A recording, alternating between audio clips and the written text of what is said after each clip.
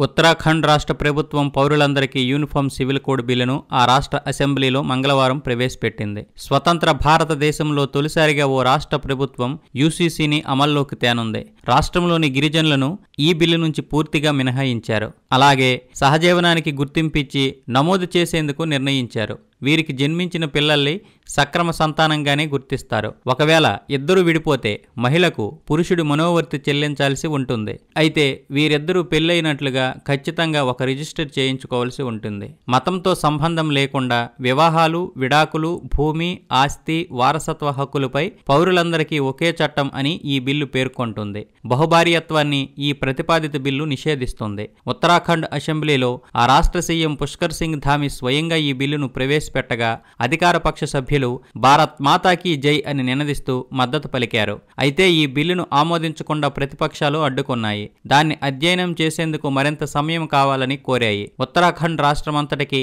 అలాగే ఆ రాష్ట్రం నుంచి వెళ్ళిన వారికి ఈ బిల్లు వర్తిస్తుంది. సహజీవనం చేసేవారు పద్దెనిమిదేళ్ళలోపు వారై ఉండకూడదు.